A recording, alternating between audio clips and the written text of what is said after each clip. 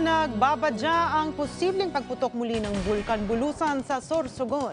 Base sa monitoring ng FIVOX, mahigit dalawang daang volcanic earthquakes ang naitala sa bulkan mula noong June 24. Pinakamalakas dito ang magnitude 3.5 na naitala noong tanghali ng June 24 na naramdaman sa munisipalidad ng Irosina at Bulusan sa lakas na intensity 3. Nananatili naman ang alert level 1 sa Bulusan dahil sa posibilidad ng mga biglaang steam-driven phreatic eruptions.